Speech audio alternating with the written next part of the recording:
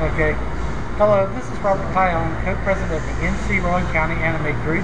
Today I'm still at the uh, FYE store. wanted to show one of our members here, and you've seen him probably before on YouTube. Uh, yeah, hey. Uh, I'm Matt. Oh, you may not Matt. yeah, I guess that too. Yeah. Matt, uh, yeah. one question. What was your uh, earliest anime memory? Anime, oh, that's Voltron way back, I, I went to a blockbuster and I picked up this thing that had like this robot that had like lion heads for hands.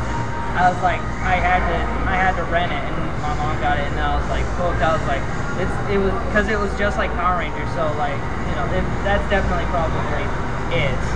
And then also, you know, all the entirety of Toonami is like just one big ulti ultimate memory. That probably all of that, yeah.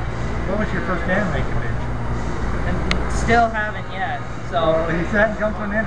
Yeah, I'm still yeah I'm still virgin with that. So. Uh-huh.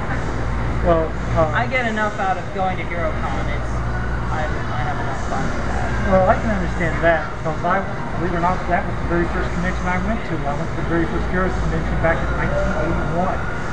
Uh, it was on Airport Road down in uh, Charlotte. Mm-hmm. But, but yeah, I mean, I like it more because there's actual cool guests like Mike Mignola that actually did Hellboy. Like, like I don't like I'm go I would go for seeing the guests and then buying stuff and some and like sometimes I don't know if that would be at an anime as as big of a thing.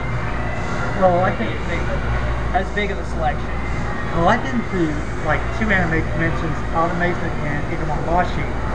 Um, both have their pluses and minuses far as convention-wise. Picking on Washington, of course, being such a young convention, you can understand, and thus being in January for the first time. Uh, yeah, Yeah, and you're going to be, you know, first time convention. I'm expecting this year to be a lot bigger and a lot more fun too.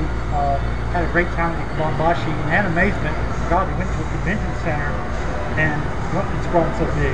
Yeah. Well, we're going to end this right here and uh, hope that you have a very nice day. Goodbye. Yeah, see ya.